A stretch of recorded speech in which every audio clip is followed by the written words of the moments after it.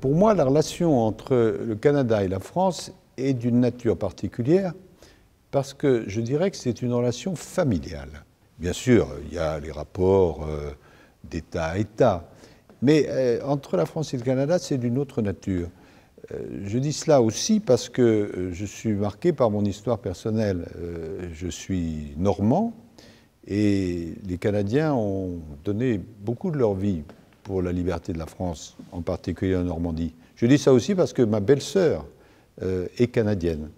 Euh, et donc, à chaque fois que j'ai eu à traiter des affaires entre le Canada et la France, cette dimension personnelle, familiale, a été présente. Ça n'empêche pas que des membres d'une même famille euh, aient beaucoup d'admiration les uns pour les autres.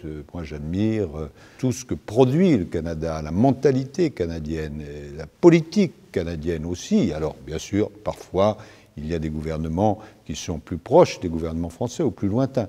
Mais cette dimension familiale avec euh, un grand pays euh, d'Amérique et en même temps si proche de nous, c'est quelque chose d'unique et qui, je l'espère, dans les années qui viennent, va continuer et prospérer.